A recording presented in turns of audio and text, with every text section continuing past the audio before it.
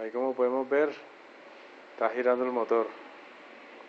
Materiales utilizados, dos clics, una batería de 9 voltios, un imán